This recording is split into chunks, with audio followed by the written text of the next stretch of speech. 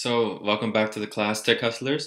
Today we're going to be focusing on Sketch 101. So, this is the intro video in what we're going to be teaching you all about Sketch. Currently, the version I'll be working on is Sketch 42, so basically 4.0 plus. plus, and we're going to be going through different elements of the interface, different things you can do, and I will go through a sample project that I found online on Dribbble, and we are going to be kind of understanding how Sketch really works and then we'll start creating our own projects so that way you can start posting them on Dribbble.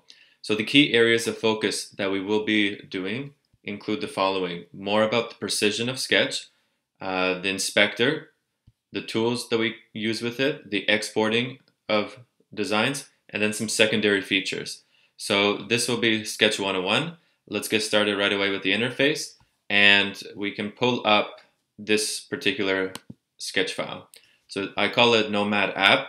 Um, this sketch file was actually designed and created by Dewald Dapsis from NetGuru, and you can visit his profile on Dribbble.